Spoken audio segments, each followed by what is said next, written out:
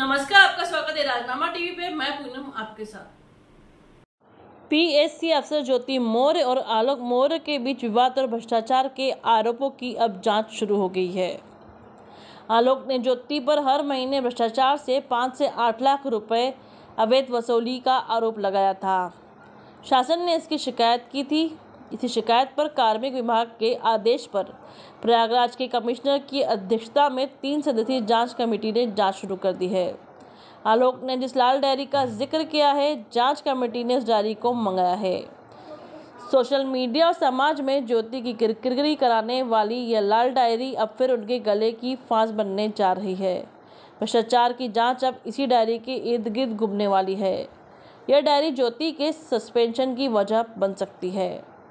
आलोक मौर्य ने बताया कि उनके पास ज्योति मौर्य के ऊपर लगाए गए आरोपों को साबित करने के पर्याप्त आधार और सबूत हैं।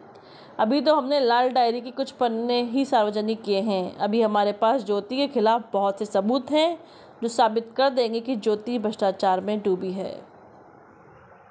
इसी के साथ बने रहे राजनामा टीवी के साथ, धन्यवाद।